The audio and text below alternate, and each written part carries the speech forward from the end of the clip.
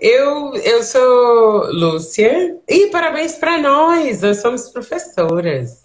É, professora de inglês, é, eu fiz a, a, formação do CELTA e trabalho especificamente com, com pessoas que estão com desnivelamento entre o conhecimento de gramática, que é a estrutura da língua, e o, a, a capacidade de comunicação.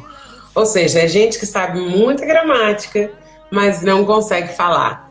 E também com Young Learners, que são as crianças, né, de 6 a 13 anos de idade. Mas eu sou prima e madrinha da Fernanda. Sim. Então, pois é. Sem família, tá? podem se sentir parte da família também, parte da família Pacheco. Exatamente. Pacheco Silva. Somos nós. Aliás, parabéns para todos os outros professores também, viu? É, parabéns para todos os professores, todas as pessoas relacionadas ao ramo da educação. Esse dia é de vocês, cara. É, é verdade. Então, beleza, né? Estamos aqui falando da gente comentar aqui no, no chat, né? Quais lugares que a gente já visitou, quais lugares da Europa que vocês já foram. A Paula tá falando que a gente é muito parecida. Cara, quando a gente fez essa viagem, a gente andava na rua e perguntavam pra você, tipo, nossa, mas deve ter sido muito difícil ter filha cedo, né? Tipo. é verdade. E, e sempre perguntavam: Ah, mas a sua filha, ela não tá assim, não precisa disso. não, minha filha, não, moça. Fui por um mês, sete países, dois dias em cada lugar. Correria que valeu a pena. E quais lugares foram esses, o, o Mariana? Dois dias é bastante, bastante corrido mesmo, né? Ah, pois é. O lugar que a gente ficou menos tempo foi Praga, mas assim, sinceramente, eu acho que foi tempo demais que a gente ficou lá, né, Lúcia? É, ficamos quatro dias, foram três noites e quatro dias, mas acho que foi mais do que suficiente. Talvez alguém vai dizer que Praga merece mais tempo, mas a gente não percebeu tudo isso. É, a experiência que a gente teve em Praga não foi tão agradável assim, digamos. Paulinha tá falando aqui, quero saber indicações de lugares para visitar em Amsterdã. Cara, eu tô achando uhum. surpresa que você, você tá aí agora, morando aí. Se bem que eu não sei se você teve chance de ir em muitos lugares, né? Por conta do, da quarentena. É, agora tem também a sugestão de lugares. É, tem uma brasileira que mora em Amsterdã e ela faz turismo, é, de guia turismo especialmente para brasileiros, assim, mas com foco de, de locais.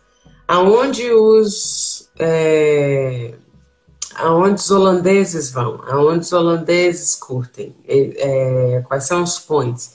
Eu acho isso muito legal. Depois, se quiserem, eu coloco o, o link dela, do perfil dela aqui no Instagram.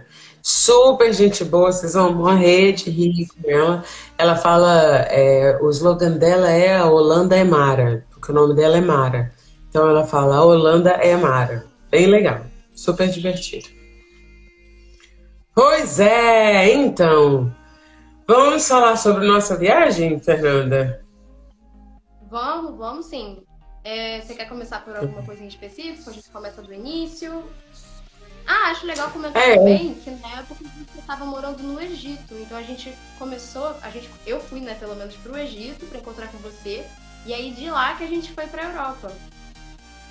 Exatamente. E o plano era mesmo fazer uma viagem de inverno, porque a gente queria experiência de inverno. E como no Egito o inverno não é tão rigoroso, a gente acabou passando Natal e Ano Novo no Egito. E de lá nós fomos para a Europa. Aliás, viemos para a Europa, né? Porque eu agora estou aqui, é meio, tô meio desorientado da cabeça. É... Mas então. rigoroso no Egito, sacanagem, né? Que eu fui pra lá e fiquei com um frio do caramba. Eu não sei se a galera tem noção disso, né? Mas a gente conhece o Egito por ser coisa de deserto, não sei o quê. Mas lá, vai tanto para um extremo quanto vai para outro. A gente lá pegou menos de 10 graus, ficou mais ou menos nessa coisa assim, todos os dias que a gente ficou lá. É, é ah, não, menos de 10 graus. Eu achei que você tava falando é, 10 graus negativos. Ah, menos de 10 graus era fácil dar, mas a questão é que é, é, acaba depois você acostuma um bocado, né? Porque aí isso já não é assim, 17 graus, 15 graus já não é tão frio, mas é frio. Mas eu digo no, no, sentido que a gente viveu na Europa, de pegar, de pegar neve, de, de ver lago congelado. Acho que isso que era, esse que era o objetivo, né? Da tal viagem de inverno. E, e foi é, essa foi a motivação, mas o interessante foi que a gente a gente viveu uma experiência que ensinou a gente para as próximas, né? Porque tem um monte de coisa que eu não faria de novo. É verdade. Então é. Uhum. Uma coisa que, assim, eu não tinha noção, né? Eu ouvindo isso, sendo que tô passando frio e ainda estamos em outubro. Paula, quando a gente foi aí, era janeiro, a gente foi dia 2 de janeiro. As meninas andando com que... calça rasgada na rua e a gente com duas calças. Era uma parada assim, inimaginável. Foi, é verdade. Não, isso ainda vai ficar muito frio. O outubro tá fresquinho, ainda vai ficar muito frio, Paulo. Não se preocupa, não. É, e o legal de Amsterdã também é que, tipo, você acorda, tá nevando, você sai, não tá mais nevando, aí tu chega no metrô, tá nevando de novo. É, é, é. Isso foi interessante também. É... E a outra coisa que a gente sempre se pergunta, né? E eu sempre me preocupo com relação à mala, à preparação. O que, que a gente põe na mala, o que, que a gente não põe na mala? O que, que a gente compra, o que, que a gente não compra? Minha sugestão: se você está saindo do Brasil, que é um lugar que não tem frio de verdade, não encha sua mala de roupa de frio, como se isso fosse resolver. Porque o fato é que não resolve. É, a gente não tem no Brasil é, acessórios e roupa para enfrentar um frio da Europa de janeiro. Então, a melhor coisa é sai daí com um bom casaco, guarda um dinheiro e assim reserva um dinheiro para isso e quando chegar aqui procura os seguintes acessórios, vou dizer quais são eles. As meias, aquela meia grossa de lã, eles têm uma para colocar por baixo da sua calça. Então traga calças que você não adianta trazer aquelas calças grudadas que você não vai conseguir colocar outra calça por baixo. Então, eu só levei calça jeans, skinny e eu me lasquei com isso. Eu tive que comprar calça tipo daquelas moletom para pôr por cima. Exatamente. Foi isso, foi isso aí. A gente teve que parar numa lojinha para comprar uma calça moletom para pessoa, porque a pessoa tava congelando as pernas. É, isso é verdade. É bizarro, bizarro. Em Praga, a gente chegou a pegar menos de 20 e tantos de temperatura, sei lá quanto que tava a sensação térmica, e você sente que o seu osso está congelando. É muito ruim, e o programa de praga, assim, na maior parte dos países europeus, o programa é, é, é outdoors, é andando na rua, vendo as coisas. Então, quando você escolhe fazer uma viagem de inverno, você tem que saber que você vai lidar com isso. Então, ó, a calça sempre para colocar por baixo da calça. É, blusa de lã pesada Tipo, colocar a blusa de lã pesada aqui. E um casaco, sobretudo. Tipo, um coat, sobretudo, que seja bem quentinho. Não adianta também colocar um zilhão de roupas, porque depois quando você entra no shopping, a gente tava falando isso, né, Fernanda? Quando você entra no shopping, tem sistema de aquecimento e aí você sai tirando aquelas roupas todas e fica carregando aquelas roupas todas na sua mão, no braço, enquanto você está rodando no shopping. Não tem bolsa que caiba tudo aquilo. Não tem bolsa que caiba tudo aquilo. é verdade. Não tem. Não tem. Ok. Pois é. Ah, e, ok, vamos começar por Amsterdã? Acho que a gente já começou, né, na verdade, mas vamos falar de Amsterdã? Vamos, vamos sim. Pode ir. Tá. Toca aí. Pois é, Amsterdã foi o nosso primeiro local, porque eu também já tinha ido a Amsterdã e conheci algumas pessoas de Amsterdã. É, eu sou apaixonada por Amsterdã, né? Particularmente. Eu acho o povo holandês um povo extremamente educado, muito friendly e, e fácil de lidar, né? E Amsterdã é uma cidade que você viaja e assim que você vai para lá, você chega num lugar e você faz tudo andando, tudo, tudo, tudo andando. Mas não cometa o erro que a gente cometeu a gente não comprou o ticket antecipado, antecipadamente. Desculpa. transporte lá? Não, o ticket do, do Museu da Ana Frank. Ah, sim, e aí, é verdade. Uma mega. Pois, e tinha uma fila gigantesca. Então nós fomos para casa naquele dia, não pudemos é, entrar no Museu da Ana Frank, da Anne Frank. Fomos para casa, compramos pela internet e no outro dia voltamos. Você até hoje não conseguiu ir no Museu da Anne Frank, Paulo? Que bizarro! Quanto tempo a Paula tá lá? Ela tá lá já vai fazer quase dois meses agora, eu acho. Ah, entendi. Também tem ponto da quarentena também, tá todo mundo confuso agora. Mas pois aí, é. em Amsterdã, a gente no segundo dia depois foi. Não, porque eles estão marcando horário por causa do Covid. Ah, tá. Três meses quase, já tem dois. É... No segundo dia, foi no Museu do Van Gogh e foi incrível, foi maravilhoso ter ido naquele museu. Eu fiquei pessoalmente apaixonada pela gift shop deles, que lá tem muita coisa. A gente comprou bolsa lá, a gente comprou estojo, oh. cara, muito legal. É, bandana, né? Belo. Lá, né?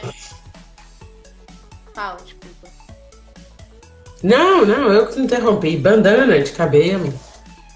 Do Van Gogh. É, compramos de lá. É. E foi preocupante no início da viagem lá, né? Porque eu fiquei assim, caraca, eu vou gastar meu dinheiro todo aqui, misericórdia. Então, assim, se você for pra Amsterdã e tal, então, ah, meu ponto final vai ser Amsterdã, deixe pra ir no Museu do Van Gogh no final. Que você pelo menos não gasta dinheiro com consciência pesada. É. Entendeu? quais vocês mais recomendam? Então, eu recomendo total você indo do Van Gogh, é uma experiência incrível lá. Eles têm, inclusive, cartas uhum. do Van Gogh que você consegue ouvir em inglês, né? A carta dele, ele tem uma atuaçãozinha ali por trás. O museu ele tem uma. Como é que é o nome? Uhum. Trajeto, não sei, é, mas assim, lá dentro, um caminho específico que você direciona e faz muito ah, é, sentido. Sim peso. Acho que vale toda a pena uhum. você ir lá. E também a gente foi no museu do Rembrandt, que é um museu pequenininho, barato, que também é muito legal. Sim. Eu gostei bastante. Mas eu gosto muito de arte. É, né? eu, eu, em matéria de, de, de museu, eu acon super aconselharia o Van Gogh e o Museu de Cera, que é a Madame. Madame. Madame Tussauds. Nossa, esqueci. E é, Madame Tussauds. O dia em Amsterdã foi fantástico. São os principais pontos de passagem obrigatórios. Ah, tá. É isso que a gente tá falando. É, é, seria o da Madame Tussauds, porque o dia em Amsterdã é muito show de bola. A gente se divertiu bastante. Você perde uma tarde inteira lá tirando foto com as, com as estátuas de cera e a vida passa. É um lugar muito, muito legal também que a gente foi, foi na Praça Dama. Mas a Praça Dama é aquela história. Aonde você vai, você tem que passar pela Praça Dama. Mas eu sugiro gastar um tempo, sentar na Praça Dama e ver as pessoas passarem. Porque uma das, uma das características de Amsterdã é a pluralidade, é a diversidade. Então você tem gente de todo tipo, de toda forma, vestido de todo jeito. E aí sentar ali e ver essa diversidade, essa pluralidade também é uma, uma experiência muito legal.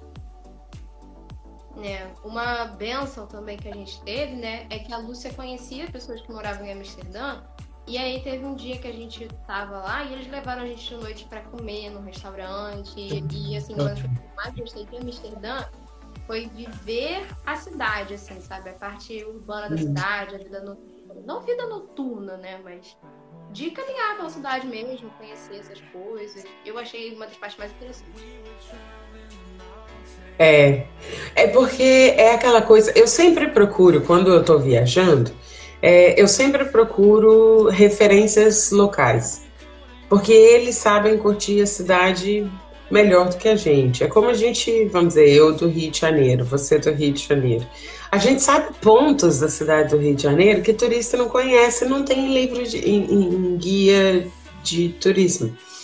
É, é, como é que é? Tourist Guides, the book. Ah. Então, é, então, é, que vale super a pena. Foi o que aconteceu de a gente viver em Amsterdã. Porque a gente não conseguiu viver em Praga. Assim, apesar de ter tempo, a gente não tinha ninguém de referência em Praga. É, tem quem use um aplicativo que se chama Couchsurfing. Couchsurfing e um outro aplicativo também que se chama Like a Locals. É, são dois aplicativos que, que a gente utiliza para entrar em contato com locais ou ver as dicas de locais, sugestões de locais para poder é, levar a gente. Os guias, normalmente, eles, eles têm aquele programa fechado já, né? Que é o pacote para todo mundo. Então, se você quer alguma coisa diferente, eu sugiro mais procurar por esses dois aplicativos, Couchsurfing e Like a Locals. Beleza. É, Couchsurfing de procura de sofá mesmo? É, é. Ok, beleza. É, então agora a gente falou dos pontos que não dá para perder em Amsterdã, né? Ah, outra uhum. coisa também que não dá para perder, principalmente se você for numa viagem de inverno, Lá em uma das praças deles, eles transformam um lago num, num coisa de patinação. E, ah, cara, foi isso é muito legal. A gente se divertiu tanto aquele dia. E aquele parque é lindo para ir tanto na manhã quanto de noite. Pro... É, pra patinação, é verdade. Ah, não. Patinar. É, isso. E eu vi a Fernanda cair. e gravei. Foi muito cômico. Pois. Eu acho que era legal a gente mostrar aquela foto do Museu de Cera que a gente tirou com o Charles Chaplin. Então, eu tava procurando aqui antes de você entrar na live. Eu acho que, que Android realmente não dá para colocar foto durante a live. Ah, não? Mas a gente posta nos nossos perfis, acho que vai ser legal. Se a pessoa gosta de parque, não pode perder o Vondel Park também. Eu nem lembro mais como é que era o nome desse parque, então pode ser até que seja esse. Você lembra o nome do parque, Lúcio? Não. E, e, tudo era um nome bem, bem diferente, não era nome. É. É. Mas era um dos parques que faz assim, tem uma estação de metrô que sai dentro do parque, assim, bem dizer. Hum. É. Ah! Acho que é legal a gente pegar o avião pra, pra Praga. O que, é que tu acha? Acho. Uhum. Tá. Ah, eu acho uma coisa importante falar. Fala. Primeiro o quê? Fala, eu tinha te cortado. Ah, é, quando você chega em Praga, que você sai do aeroporto em Praga, tenha uma coisa em mente: ninguém fala inglês. É, segundo, você não consegue saber onde que é a fila do ônibus que vai te levar para o centro da cidade. Então, faça o seguinte: já antes de ir para Praga, procura saber qual é o número do ônibus que vai te levar para o centro da cidade. Porque você não consegue saber qual é o óleo, você não sabe qual é a fila, tem um monte de fila. E ninguém sabe falar inglês. Então, essa é uma grande dificuldade que a gente tem. É, e quando entramos no ônibus, o motorista que não sabia falar inglês. E pronto. ou entra ou sai, ou entra ou sai, ou entra ou sai. Então, essa foi a nossa recepção de Praga, é verdade. É um lugar lindo, mas tem essa dificuldade. Eu e Lúcia achamos particularmente o povo de Praga um pouco assim. prático demais. Será que eu posso falar desse jeito? Olha que eufemismo lindo! É? Eu fiquei... passei um tempo na minha mente pensando nisso. Outra coisa também, vou te perguntar, você acha que vale a pena fazer um câmbio, né, pra coroa lá de Praga antes de ir pra Praga? Quando a gente chegou lá, a gente não tinha escolha, né? É, porque, ah, verdade, isso é uma boa coisa para lembrar, Fernanda, bem lembrado. Praga é outra moeda. Apesar de ser Europa, é outra moeda. Eles estão no processo de adaptação para a União Europeia.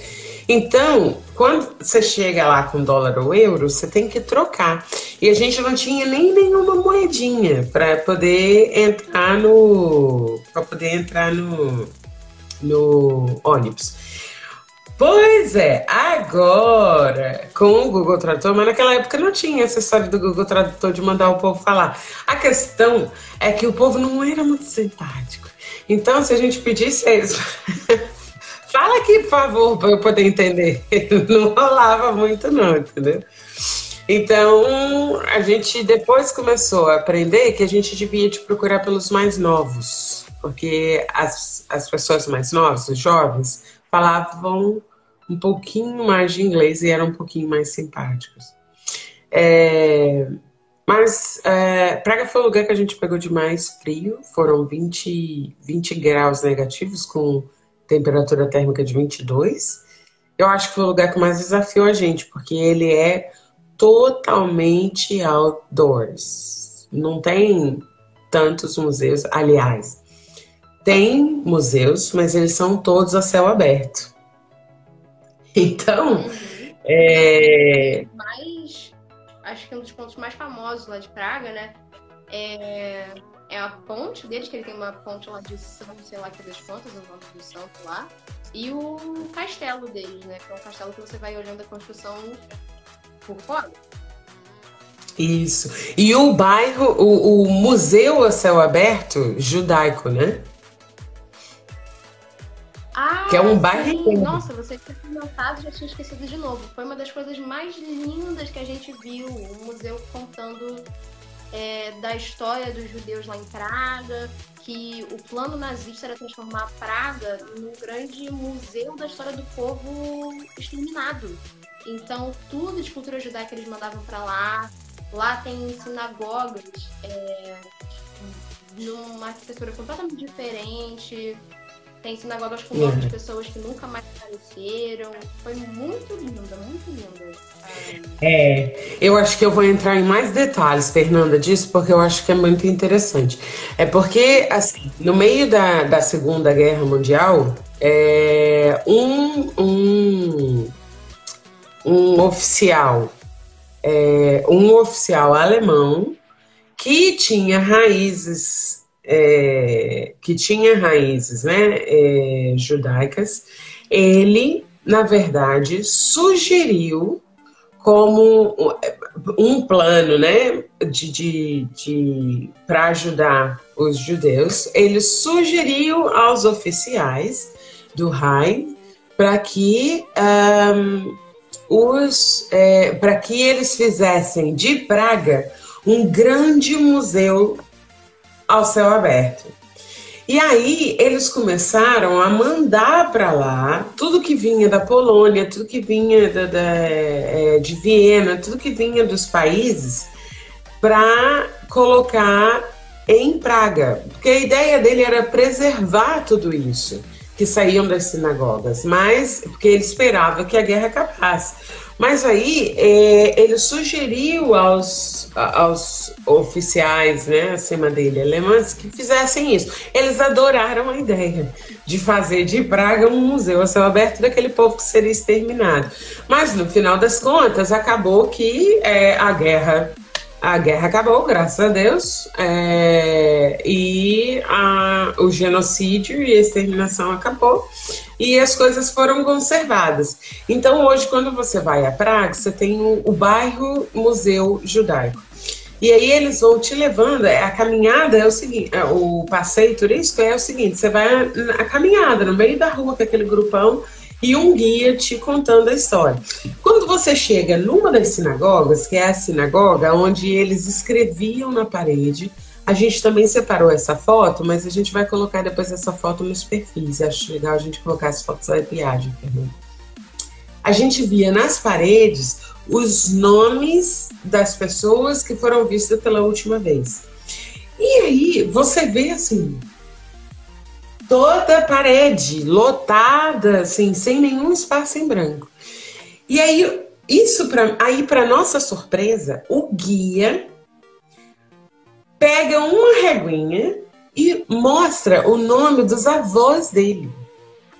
Porque ele era descendente de jude dos judeus e os avós dele morreram no campo de concentração. E ele conta pra gente que a história dos pais dele que se conheceram no campo de concentração, sobreviveram e aí tiveram ele. E essa, essa é sem dúvida a highlight do de Praga. Assim, eu diria não vá, assim, não deixe Praga sem fazer esse passeio turístico, porque todos os guias desse museu judaico ao céu aberto são ou remanescentes ou filhos de remanescentes do, dos campos de concentração. Aqui, é, esse perfil Meirelles Alves perguntou: havia. Sara! Linda! Vou mandar um beijo pra Sara. Ô, Sara, eu quero mandar um beijo pra você, viu? Minha flatmate. Tinha muita neve, Vamos. tinha lugar assim que você via pedaço da água congelado, boiando em cima do rio. Sim. A gente saía do shopping e aí tinha que botar coisa, capuz assim, porque começava a nevar. É. A gente pegou a neve na mão, igual as bestas, né? Porque nunca viu neve. Pegou a neve na mão, saiu com as mãos queimadas. do frio. A gente tem foto disso, inclusive. Pois, pois. Pois é. É, eu acho que. Ah. Eu quero contar. Eu quero contar. Então conta. A nossa experiência da Night de Praga. Tá, já sei o que você vai falar. Pois é. Pois é, as duas pessoas. Eu, eu sou uma pessoa idosa que durmo umas 10 horas da noite. Todo mundo sabe. E a outra pessoa estava fazendo 15 anos de idade, né? Então a gente pensando, vamos sair na night, vamos sair na night, vamos sair na night. Mas a gente tinha disposição zero para pegar 25 graus negativos na night. Né? Então, em resumo, o que, que nós fizemos? Passamos no mercado compramos uma cerveja de cada marca e levamos para o quarto, porque a ideia era curtir uma outra, né? E levamos para o quarto. E começamos a tomar, cada uma tomava meia cerveja, né? Ai, meu Deus, Alexandre vai me matar. Já comecei a história, agora vou até o fim. É, então, começamos né, tomar meia cerveja de cada, meia cerveja de cada. Quando a gente chegou no final da sexta, a gente já não sabia qual era o sabor de quê, o que, que a gente tinha gostado, o que, que a gente não tinha gostado. Terminamos às oito que a gente ia comprar e voltamos para beber tudo de novo que a gente já não sabia o que tinha gostado, que a gente teve a ideia de agora vamos separar as garrafas. Que aí amanhã a gente pode comprar daquela que a gente gosta. pois é. Cara, Essa foi a mercado. Com um restinho assim na, na geladeira. Eu, eu tenho pena da pessoa que foi limpar nosso quarto depois e achou, sei lá, quantas garrafas de cerveja com isso aqui assim, ó, apodrecendo no fundo. Porque a gente não conseguia mais. As duas cachaceiras. É. Nem, nem fazer isso a gente faz certo, né, Lúcia? Pois é, nem, nem encher a cara. Como diz, como diz a Léo, a Leonora é uma amiga que ela tá aí online e ela sempre falou assim: Virgininha, ela me chama assim, Virgininha, Virgininha, você é brisa, brisa eterna. Tipo, você não precisa de nada, né, pra ficar doidona. Você é brisa eterna. Leva isso comigo até hoje, viu, Léo? É verdade mesmo, sou brisa eterna. Então, beleza. A gente vai pro voo agora para Edimburgo ou tem mais alguma coisa ainda para Praga? Adoro Escócia!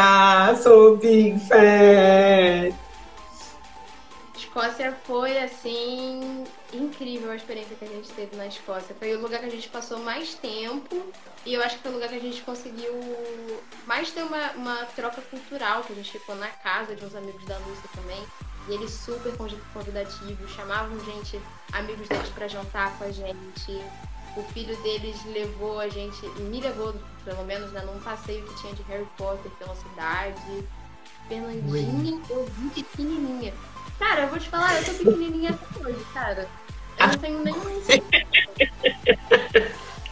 Pois. Mas eu tô melhor do que meus 15 anos, porque a foto dessa viagem é só espinha, cara toda. Só hum. espinha. Ah, isso é verdade.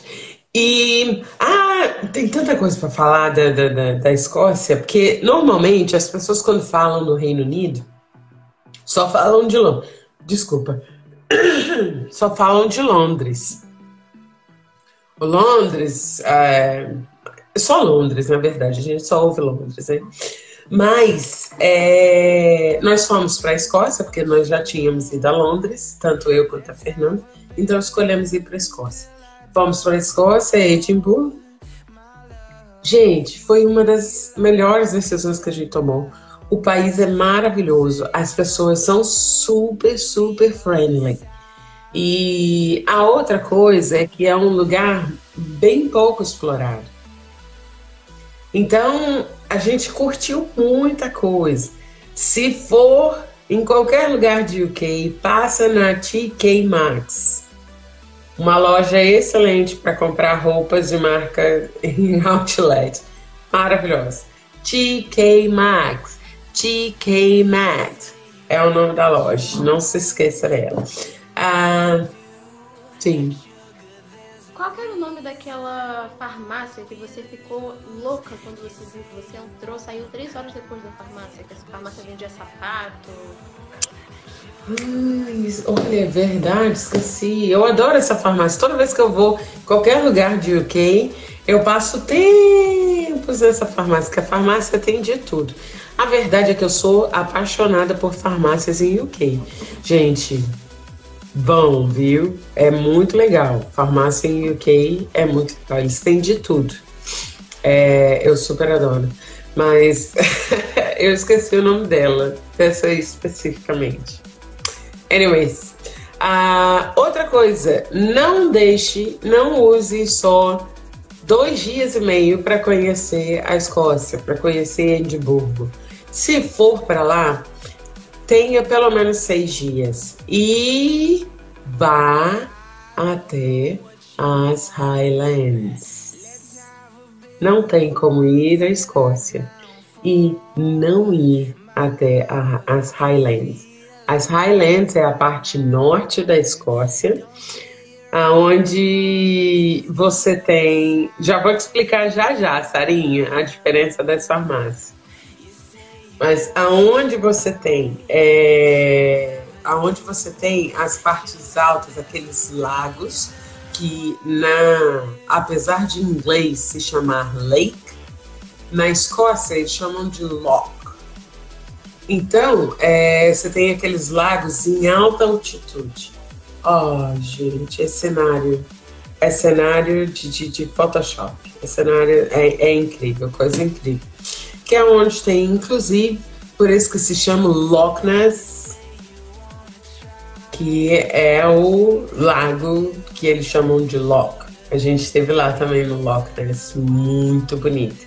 Não vi a. Como é que é o nome? Nessie. Como é que é o nome da, da, da do monstro do Lago Ness? É, eu acho que é isso. Acho que ele não tem um nome específico. É, não veio o monstro, viu? Ele tava quietinho, acho que se assustou com as duas monstrinhas aqui. Mas é, o lago é lindo, vale muito a pena.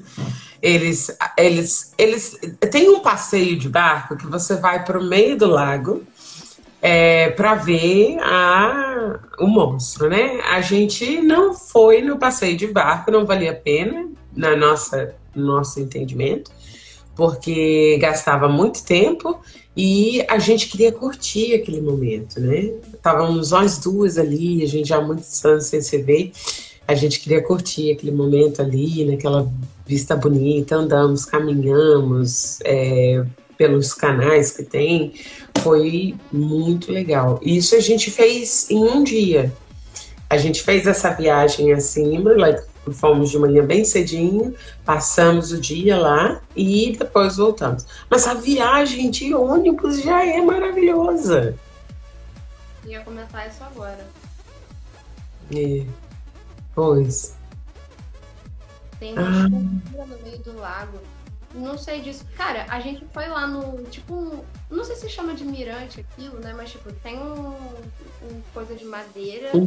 Assim, isso, é, pra você chegar assim no lago, você não vê o lado de, do outro lado do lago. Você vê água, água, água, água, água, água, água, a linha do horizonte.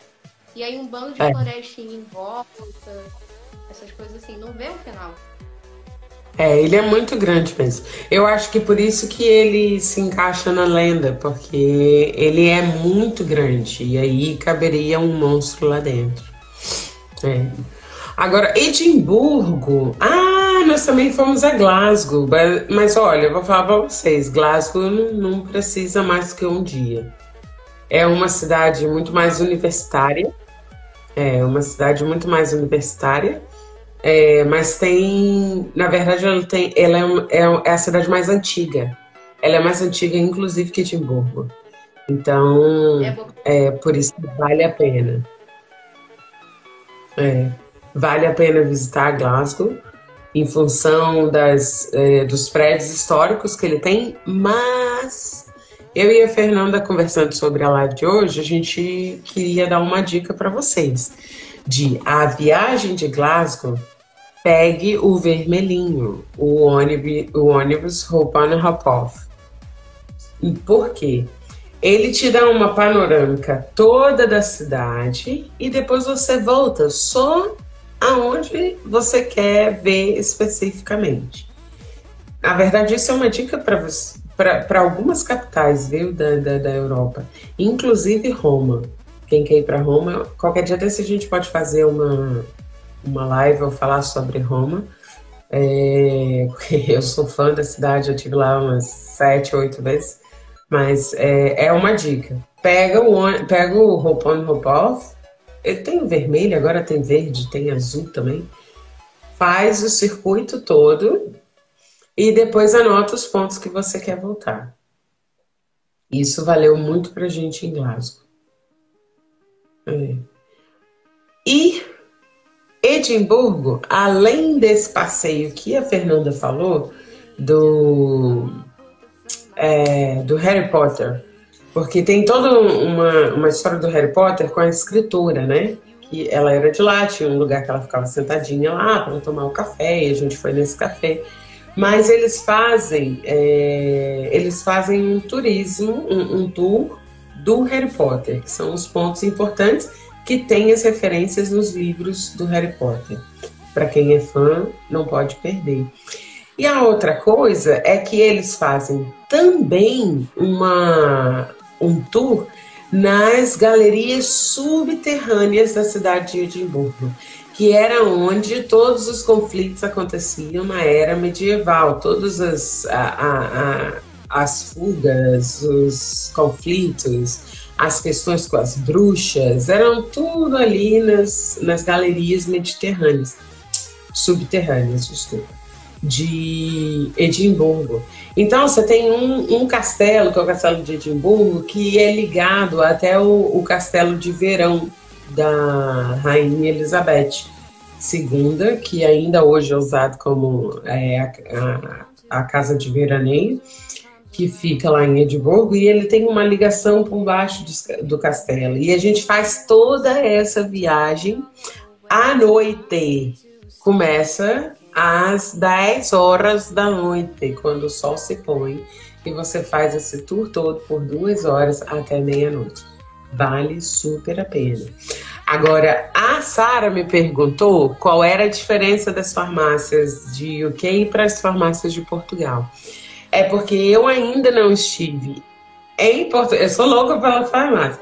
Eu ainda, eu ainda não estive em Portugal numa farmácia que tivesse tudo é como se a farmácia lá em UK ela fosse toda aquela assim tivesse além de remédio aí tivesse a, elas têm a parte de perfume elas têm toda a parte de perfumaria toda a parte de shampoo toda a parte de condicionador é, são, são três andares de farmácia e ela ainda tem toda aquela parte de maquiagem toda aquela parte do, do, do é, sabe aquela parte da Primark de, de Coimbra que a gente vai, que tem aquele ladinho todinho só pra gente se divertir com coisa de casa e de maquete?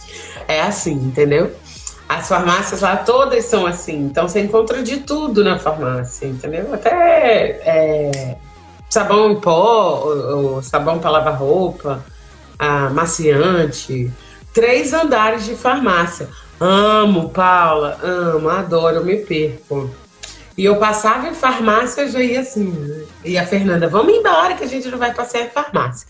Mas depois que ela entrou na primeira, ela se divertiu também.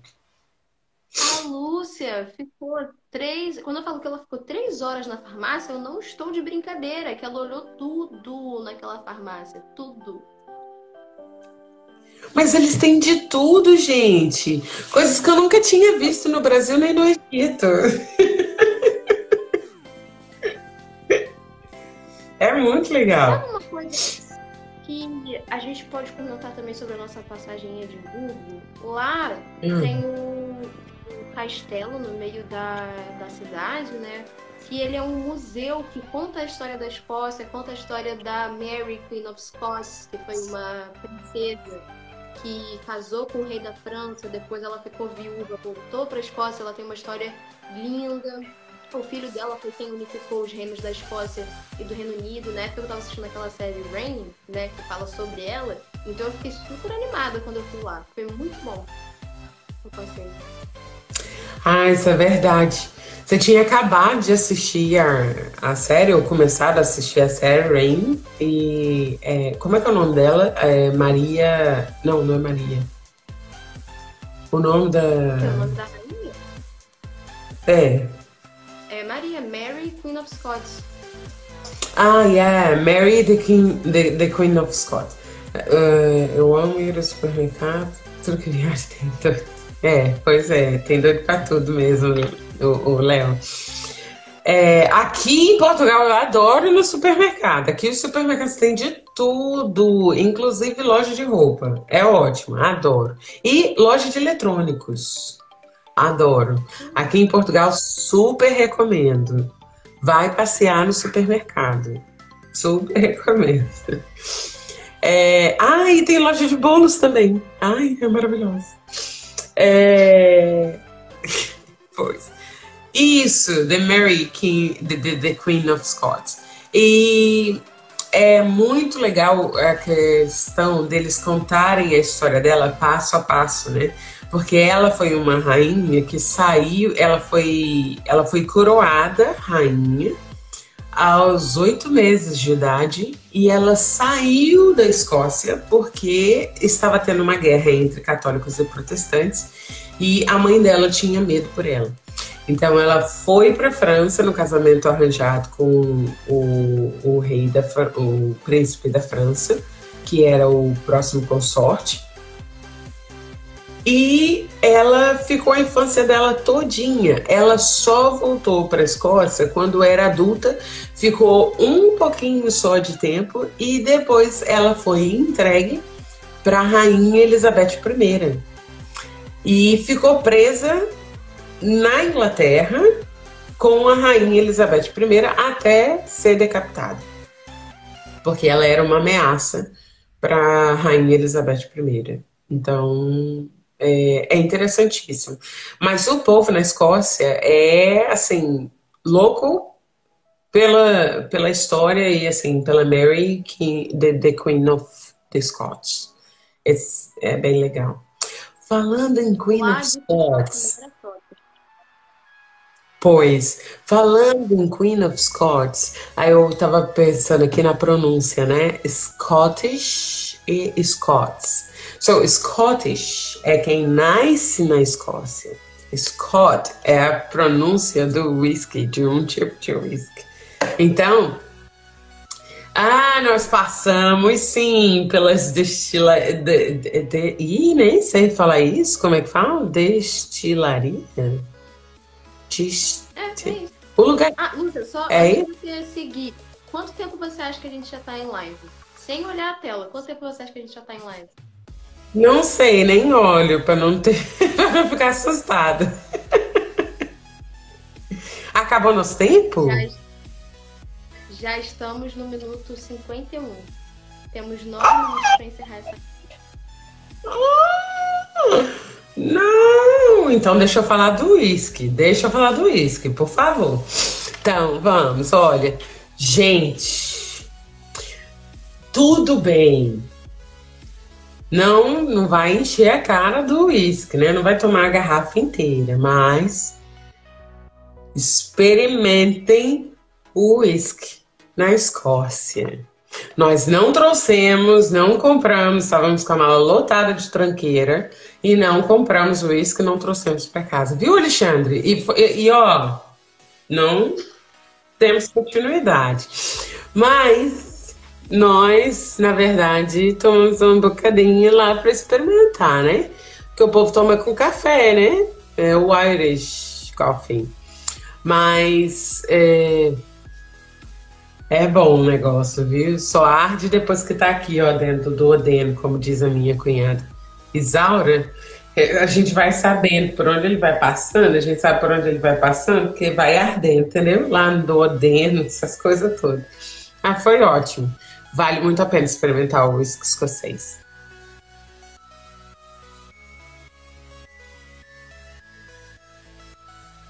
Ah, Viu? Parei.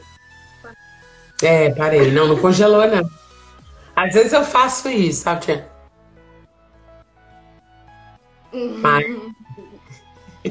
É, acho que agora que já falta pouco tempo, a gente pode falar sobre coisas que eu preciso saber. A gente separou para falar que é totalmente indispensável você, antes de ir para um lugar, olhar a previsão do tempo para saber que tipo de roupa que você tem que levar, que tipo de coisa botar na mala, né, Lúcia?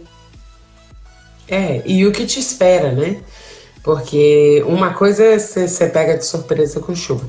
Ah, mesmo que você esteja vendo, tipo, com 15 dias de antecedência, mas check the weather. Check the forecast. Por quê? Porque por mais que mude um pouquinho para cima, um pouquinho para baixo, mas não vai mudar muita coisa. E é bom porque não te pega de surpresa. Você vai saber que você vai enfrentar chuva, você vai saber que você vai enfrentar neve, você vai pegar neve. Ah, a Sara tinha feito uma pergunta se a gente viu neve em, em Praga, eu li aqui. Olha, Sara, a gente pegou mais ou menos meio metro de altura de neve em Praga. É? E fomos pisando, né? Assim, igual criança. Sabe por quê? Né? tem um vídeo da Lúcia que eu tenho até hoje, que eu gravei assim no pé dela, né? Aí ela. A gente tinha acabado de chegar lá, a gente chegou na, em Praga, e aí todo o percurso do ônibus que a gente foi vendo era tudo coberto por neve. A gente estava chegando do avião, o avião ia pousar numa pista branca. Aí a gente saiu do ônibus tal, foi começar a andar assim, tinha neve pela rua, a Lúcia chegava e botava o pé assim na neve, e aí via a neve assim, é, baixando, aí ela começava a rir, aí ela botava o pé, aí ela tirava e botava em outro lugar, e aí eu que nem criança fazendo isso por um tempo. Foi, foi. É, assim, tem seus desafios, não é como uma viagem de verão, né? Mas é muito legal também. É, é, um, é um outro tipo de experiência. Muito legal, vale a pena. Se você não estiver disposto a pegar esse frio, é melhor no verão mesmo. Mas assim, era uma experiência que a gente estava disposto a arcar, que a gente queria, assim, todo mundo falava, ah, inverno europeu, inverno europeu, mas eu nunca tinha passado por isso, né? Não sei se a você tinha. E foi uma experiência muito boa. Eu gostei bastante. Eu também. Achei que valeu muito a pena. E uma coisa importante que você precisa pensar é, além do, além de, de ver o clima, de, de conferir a previsão de tempo, é você também é, conferir os horários de funcionamento das coisas. Na Europa, tudo muda. Os horários de funcionamento de inverno são diferentes dos horários de funcionamento de verão. E tem alguns lugares em que o pôr do sol passa a ser três horas da tarde. Então, saiba e programe seu dia, seu tempo e quanto tempo você vai ficar lá de acordo com essas limitações, tá bem? Porque senão você não vai ver quase nada. É, teve dia que a gente só não aguentou ficar na rua até, sei lá, sete, oito da noite. É, pois, porque três e meia já tava em Praga, né? Três e meia já tava escuro e a gente tava morrendo de frio. Fomos pra casa do bebê. Gente, vocês têm alguma pergunta? Alguma coisa que vocês queiram fazer aí antes do tempo acabar? Nós temos três minutinhos, acho que dá pra responder uma, duas perguntas, dependendo do que for. É, enquanto isso, outra coisa também que a gente comentou aqui é sobre locomoção. Cada lugar tem uma locomoção específica, você tem que saber se você vai ter que separar dinheiro para pegar ônibus, se você vai ter que andar de Uber em determinados lugares. A gente estava achando que ia dar para pegar ônibus do aeroporto até o lugar que a gente ia ficar, né? Quando a gente chegou em Amsterdã. Só que a gente estava com uma tralha de mala, né? De mala e não tinha ônibus fácil, era tipo coisa da gente ter que pegar um ônibus, depois ter que pegar o outro, depois ainda ter que pegar alguma outra coisa que eu nem lembro agora. Então a gente preferiu ir de Uber. É verdade, é verdade. Foi mais ou menos uns 20, 20 e poucos euros, né? 23 euros, alguma coisa do tipo. Da, do aeroporto até lá. Que a gente não estava esperando. É. É, a meia lata ah, pode deixar. Qual será a próxima viagem? Olha, a gente está planejando. Agora, eu, eu acho que era legal a gente fazer uma da, da Itália. Tem muito brasileiro, muita gente que vai para a Itália. E a Itália foi um foco meu durante seis meses. Acho que a gente pode pensar sobre isso, viu, Lazinha? Aí, na próxima vez, é minha vez de, de ser arroz. Vou aprender lá no I Do. E a gente fala sobre viagem na Itália. Achei maneiro, Lúcia. Gostei da ideia. É. Pois é. Obrigada, Leozinha, pela sugestão. É, e aí depois, Paula, se for o caso também, né? Caso, sei lá, a gente esqueça, alguma coisa assim, eu tenho certeza que a Lúcia tá aberta também para mandar mensagem, para procurar mais saber dessa Sim. Amsterdã é mais Claro, claro, gente, fica à vontade. Pode mandar mensagem, eu respondo tudo. Eu respondo com coraçãozinho, com eizinho, com, sabe, tipo, desse jeitinho, adoro. É, Paula me acha na, na, nos contatos da Fernanda, me manda mensagem e eu te digo quem é a Mara, tá? Eu te mando o perfil dela. Beleza, então, acho que está na hora de dizer tchau.